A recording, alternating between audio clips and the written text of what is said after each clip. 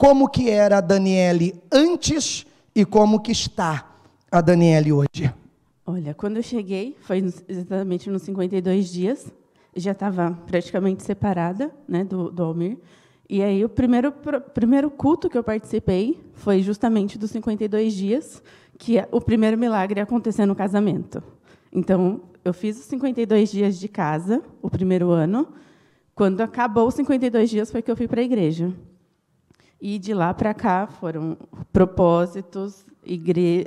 Eu moro longe, né? Na época tinha só Taquari, e a gente ia de domingo buscando a Deus, eu sozinha, né? Depois que o Preto começou a ir comigo, a Valentina, e foi através de, de oração. Mas eu cheguei devendo, com a farmácia fechada, trabalhava de funcionária, ganhava um salário que a minha chefe na época chorava para pagar. Ela dividiu meu salário em quatro e ainda reclamava de pagar, né? Morava, cheguei, morava de, de minha avó tinha cedido uma casa, mas a minha tia pediu a casa e eu fui morar de favor na casa do preto, né? Com os, com os pais dele.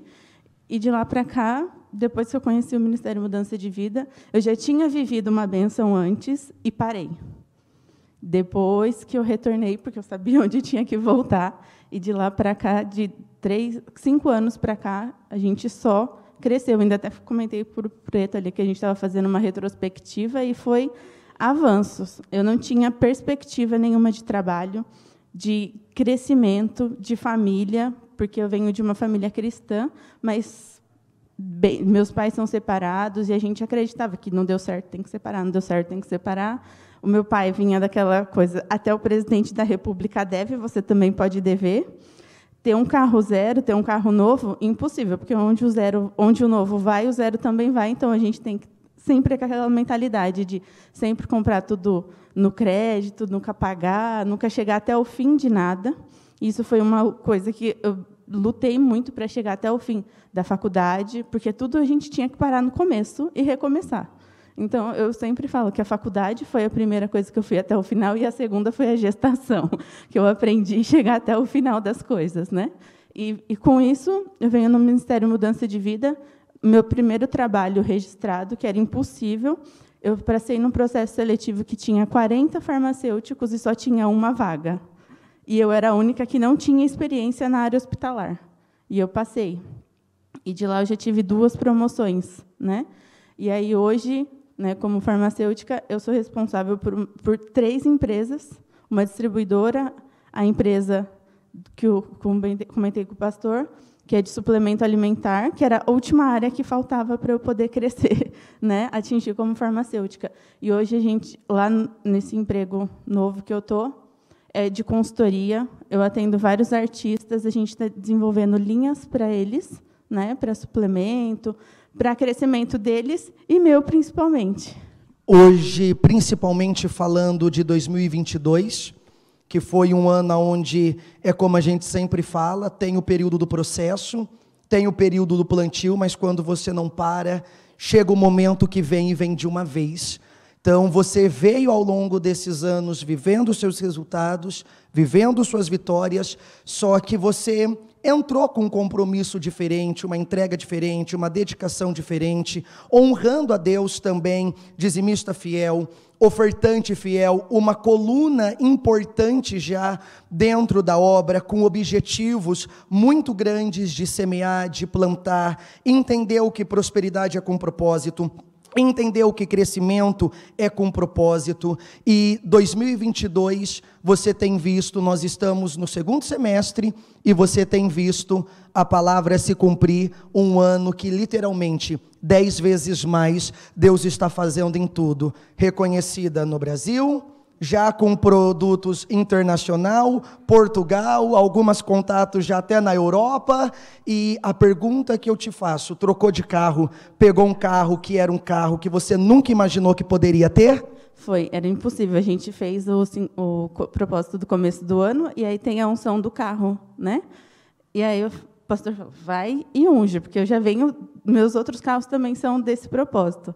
E aí eu saí daqui, fui para passei na concessionária que eu queria, ungi, falei, meu Deus, esse carro de 90 mil é impossível eu comprar, nunca vou conseguir comprar um carro desse.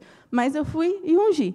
E hoje, graças a Deus, eu comprei na mesma concessionária que eu tinha ungido e com valor um pouco maior, dos 90 mil. Deus deu a condição de ter o carro de sonho. Alguém que tinha preocupação de não conseguir comprar um lanche para a filha, hoje, além de tudo que vive, faz com que muitas áreas da igreja sejam supridas pela sua fidelidade. Sim, ser a coluna foi o diferencial. Quando a bispa já liberou essa, esse, essa palavra, eu estava em casa, não estava nem aqui na igreja.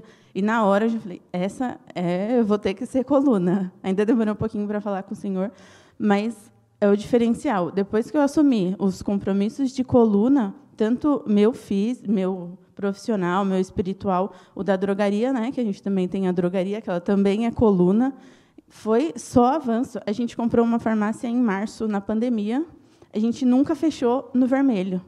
E é impossível, a gente nunca fechou as portas, não ajustou horário, né? Trabalha bastante, mas graças a Deus nós somos coluna, eu, meus filhos, o, o Almir, a drogaria, todos os meus trabalhos, todos os, os empregos que eu tenho são ofertantes, são dizimistas. Eu aprendi a separar isso porque foi o que diferenciou isso na minha vida. E o projeto de colunas veio para fala realmente é para crescimento fora do comum. E esse ano eu falei para quando eu vi a palavra, eu já falei, esse é o ano. Daniel, Daniele está ali, né? Esse é o meu ano. E vale a pena, porque às vezes a pessoa está ali vendo a sua situação, a sua dor, a sua dificuldade e acha que não tem como. Ela é pequena demais. Só que você aprova que Deus pega o pequeno e coloca perto de pessoas que você nunca imaginou sequer estar perto. E é como a Bíblia tem dito: Deus está à procura do pequeno fiel. Vale a pena essa fidelidade, esse compromisso, esse comprometimento para com Deus, essa entrega. Vale, vale muito, muito a pena, porque era algo que nem nos meus sonhos eu poderia imaginar que eu atenderia a família que eu atendo hoje, né, do jogador de futebol, o, os maquiadores, as pessoas com quem eu convivo, com quem me solicita, porque não sou eu que vou atrás das pessoas. Essa, essa oportunidade que eu tive, as pessoas que vieram atrás de mim, né? Não foi o preto sempre falava, o homem sempre falava para mim, falou assim, vai que você consegue. Eu falava assim, eu não, até parece, eu não, não vou conseguir. Mas foi as palavras, é vir nas palavras, é se apegar naquilo ali e você ir orando, falando, Senhor, e eu agora eu aprendi a orar, Senhor, me dá a força do do de 100, do menor, por enquanto. Mas eu quero é de mil, mas me dá de 100 para fazer tudo. E vale muito a pena, porque é aquela palavra, o nosso nome vai ser conhecido. Hoje, pessoas me chamam que eu nem conheço. Eles pedem para eu... Eu sou farmacêutica, então trabalho com manipulação. As pessoas falam, Dani, eu preciso de uma fórmula. Eu falo, Senhor, me ajuda, porque eu não sei. E é pessoas de que um vai indicando para o outro, não é coisas que eu, eu não trabalho com marketing, eu não tenho nada disso de marketing. É o Espírito Santo que vai soprando o meu nome no ouvido das pessoas. Feliz, abençoada, vivendo a palavra na íntegra, dez vezes mais. mais em saúde, em prosperidade, minha filha era impossível, né? Eu, quando eu engravidei, que eu tinha tanta dívida, tanta dívida, eu fui comprar um enxoval dela com sete meses. Enxoval assim, né? O básico. E eu falava assim, meu Deus, eu não vou mais poder comer um lanche, porque meu dinheiro todo vai para ela, né? E hoje ela estuda em escola particular. Eu tinha um sonho dela fazer natação, né? Hoje ela estuda em escola particular, ela faz natação, ela tem convênio médico. Os meus dois filhos, assim, eu sou completamente abençoada e próspera. Esse choro hoje é porque você foi a improvável que Deus pegou e mostrou. Se me der condições, eu faço.